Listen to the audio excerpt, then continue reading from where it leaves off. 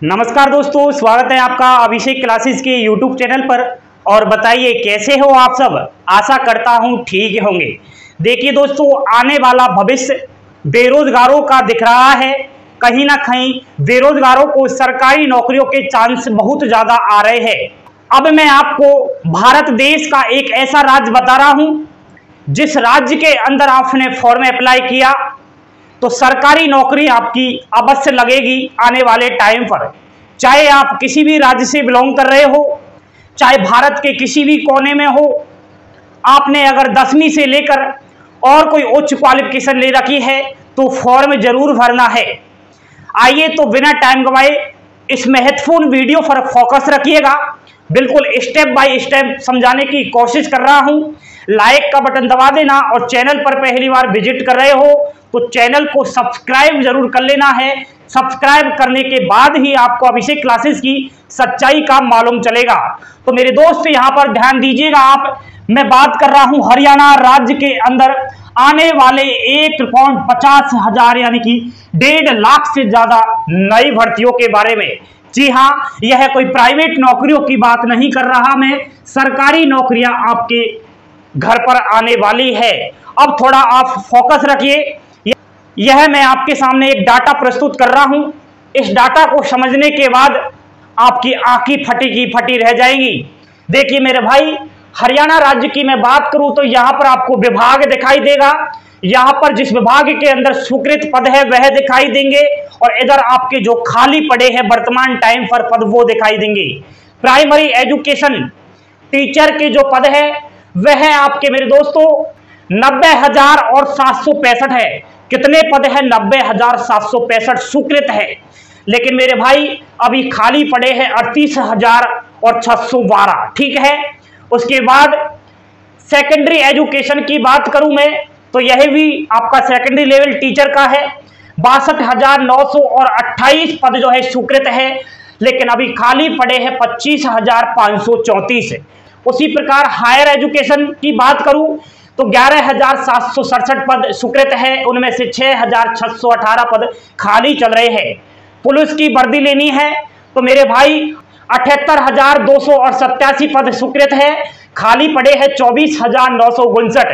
सिंचाई विभाग के अंदर अठारह हज़ार नौ सौ छियानवे पद स्वीकृत है, नौ हज़ार नौ सौ इक्यावन खाली चल रहे हैं। स्वास्थ्य विभाग पच्चीस हज़ार चार सौ उनहत्तर स्वीकृत है, सात हज़ार सात सौ चौसठ पद खाली पड़े हैं। उसी प्रकार परिवहन विभाग चौबीस हज़ार तीन सौ अड़सठ पद स्वीकृत है। आठ हज़ार पाँच सौ उन्यासी पद जो है खाली पड़े हैं। परिवहन विभाग में आपके रोडवेज़ बसों में कंडक्टर और ड्राइवरों की भर्ती होगी और रोडवेज़ बस स्टैंडों पर भी जो है ऑफ़िस में, ऑफ़िस वालों के भी, कर्मचारियों की भी भर्ती होगी। स्किल डेवलपमेंट दस हज़ार छह सौ पद स्वीकृत है, सात हज़ार पाँच सौ चौहत्तर पद खाली है, पशुपालन विभाग बारह हज़ार तैतीस पद स्वीकृत है, मेरे भाई पाँच हज़ार तीन सौ अट्ठाईस पद खाली चल रहे हैं। पीडब्ल्यूडी विभाग, जिसके अंदर बड़े बड़े पद आते हैं, जेईएन वगैरह, इसमें ग्यारह हज़ार दो सौ छब्बीस पद स्वीकृत है, चार हज़ार अट्ठानवे पद खाली चल रहे हैं। पत्रकार सर्विस की बात करें तो तीन हज़ार सात सौ सतहत्तर पद स्वीकृत है, उनमें से तीन हज़ार दो सौ निन्यानवे पद खाली चल रहे हैं। पंचायत समितियों की बात करूँ तो छह हज़ार एक सौ अठहत्तर पद स्वीकृत है, उनमें से दो हज़ार पाँच सौ पद खाली चल रहे हैं।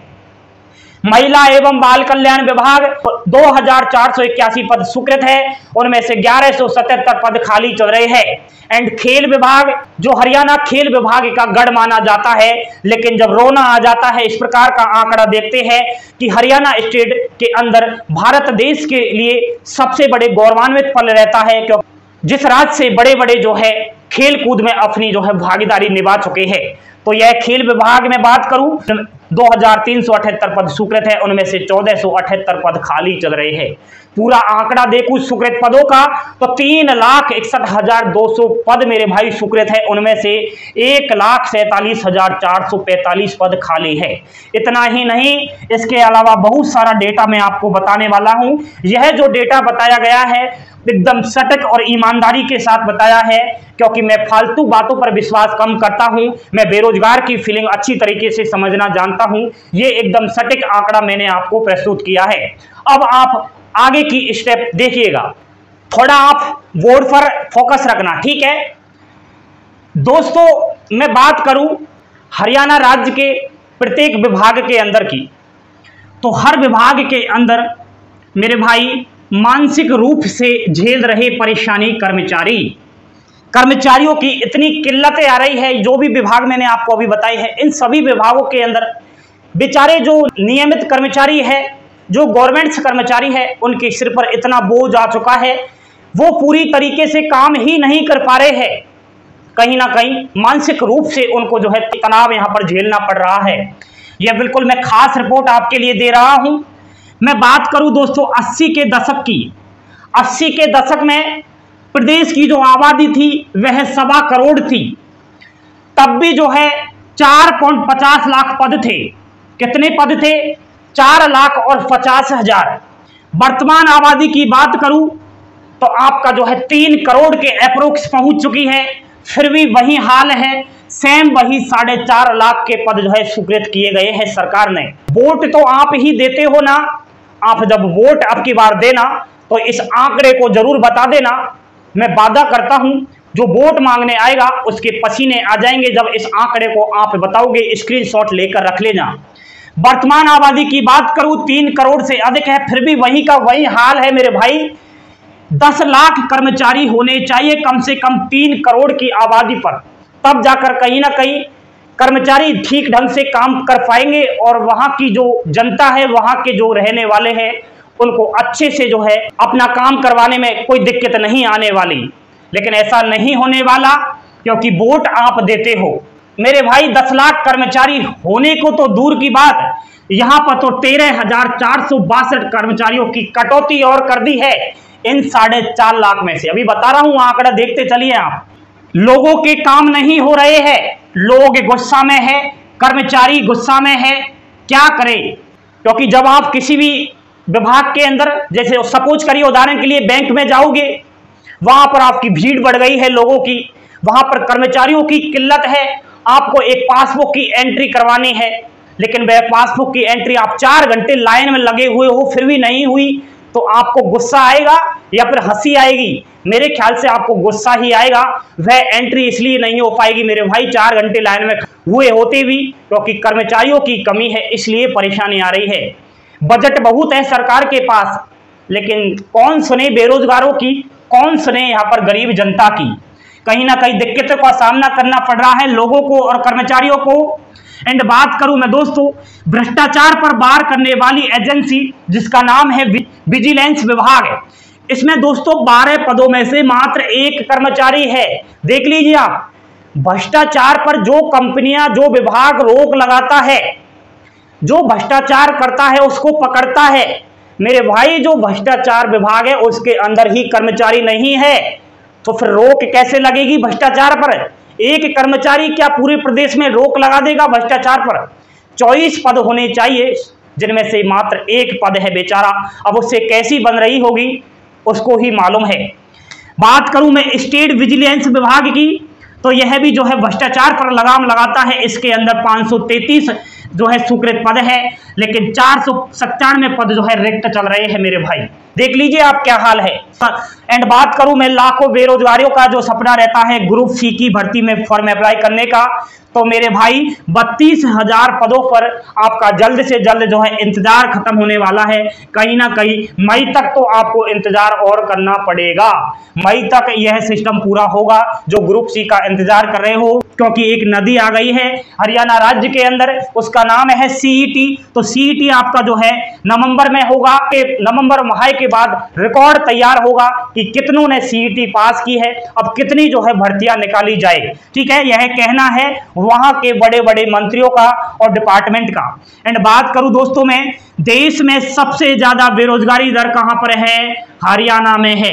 कोई हरियाणा का युवा और युवती सुन रही है तो इस चीज़ को ध्यान दे लीजिए मेरे भाई। कि पूरे देश के अंदर हरियाणा राज्य ऐसा है जहाँ पर सबसे ज़्यादा बेरोजगारी है, सैतीस परसेंट का यहाँ पर जो है आंकड़ा आया है। तो आप खुद देख लीजिए। अब युवाओं में कमी एक चीज़ की देखी जाती है कि मेरे बार बार मुँह से निकल रहा है हरियाणा। तो जो बाकी राज्य से है, वे मतलब ही नहीं रखते, क्योंकि वह तो ये सोचते हैं कि हमारे घर के पीछे ही नौकरी लग जाए, वो भी सरकारी। हमें जाना ही नहीं पड़े बहुत बहुत दूर। हमारे राज्य में ही लग जाए नौकरी तो और मज़ेदार बात है। सरकारी नौकरी लेनी है तो दूसरे राज्यों में फॉर्म जाकर अप्लाई करिएगा, वहाँ भी इंसान रहते हैं। मज़ेदार नौकरी कर, मिलेगी आपको, बिल्कुल कोई दिक्कत नहीं मिलेगी। सिलेक्शन लेना भी आसान है दूसरे राज्यों में फॉर्म अप्लाई करने से। समझदार बनिए, अगर सरकारी नौकरी चाहिए तो आपको। बाकी तो आपकी खुद की मर्ज़ी, आप भी बड़े महान भाव हो। थोड़ा स्थिति देख लीजिए आप डिपार्टमेंट की। पदों की स्थिति में बता देता हूँ, कर्मचारियों की।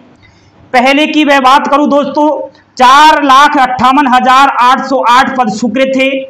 लेकिन अब की अगर बात की जाए तो चार लाख पैंतालीस हज़ार तीन सौ अट्ठानवे पद स्वीकृत है क्योंकि तेरह हज़ार और चार सौ पदों की जो है कटौती कर दी है। ठीक है, कटौती आप कर लीजिए। लेकिन कटौती करने के बाद कम से कम इतने पदों पर भर्तियाँ तो निकालिए। पद कितने खाली चल रहे हैं? एक लाख बयासी हज़ार और चार सौ सत्तानवे पद यानी कि लमसम दो लाख के करीब हरियाणा राज्य के अंदर पद खाली चल रहे हैं। तो कहीं ना कहीं आपके लिए आने वाले टाइम पर गोल्डन चांस है। अब आपके दिमाग में एक सवाल पैदा हो रहा होगा, आपने यह आंकड़ा कहाँ से लिया है? आप अपनी मर्ज़ी से बता रहे हो या फिर आपने कहीं से देखा है? मेरे भाई भास्कर न्यूज़ की पेपर कटिंग मैं आपको यहाँ पर बताना चाहूँगा। स्क्रीनशॉट ले लीजिएगा। यह भास्कर जो न्यूज़ पेपर है, उसके माध्यम से आंकड़ा बताया गया है। बिल्कुल सटीक और ईमानदारी के साथ बताया है। आप बिल्कुल इस चीज़ पर गौर करिएगा। पढ़ाई कीजिएगा। आने वाले टाइम पर भविष्य आपका ही आपका ही दिखाई दे रहा है। क्योंकि प्रत्येक डिपार्टमेंट में प्रत्येक जो है राज्यों में ऐसे ही पद खाली चल रहे हैं और जल्द से जल्द भर्तियाँ आएगी। यूथ एकदम जागरूक हो जाइए। आपका समय है। आने वाला भविष्य आपका ही है। अपने सपनों पर अड़े रहिए, लगे रहिए, मेहनत करते रहिए। अपने माता पिता का एक दिन सपना पूरा हो जाएगा। आपका भी फ्यूचर एक दिन बनेगा। ऐसी जानकारियों पर अपडेट रहिए, क्योंकि ऐसी जानकारी आपको जागरूक बनाती है। पढ़ने के लिए उत्सुकता पैदा करती है, आपके दिमाग को चार्जिंग करती है। आप अपने मोबाइल को डिस्चार्ज होने पर चार्ज कर लेते हो, क्योंकि आपके पास चार्जर है। लेकिन दिमाग को अगर चार्जिंग करना है तो अभिषेक क्लासेस पर बने रहिए। अभिषेक क्लासेस आपके दिमाग को रोज जो है अपडेट करता रहता है। बिल्कुल यहाँ पर सटीक और ईमानदारी के साथ जानकारी मिलती है एंड सोशल मीडिया पर जो भी झूठ बोलेगा, उसका पर्दाफाश भी किया जाता है। आइए अभिषेक क्लासेस के साथ मिलकर आपके भविष्य को संभालते हैं। आने वाले फ्यूचर के बारे में सही रास्ता देखते हैं। जानकारी अच्छी लगी हो तो लाइक शेयर सब्सक्राइब अवश्य कर देना दोस्तों। थैंक यू धन्यवाद। जय हिंद, जय भारत।